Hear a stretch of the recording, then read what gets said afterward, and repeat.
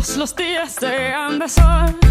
No pido que todos los viernes sean de fiesta. Y tampoco te pido que vuelvas rogando perdón. Si lloras con dos ojos secos y hablando de ella.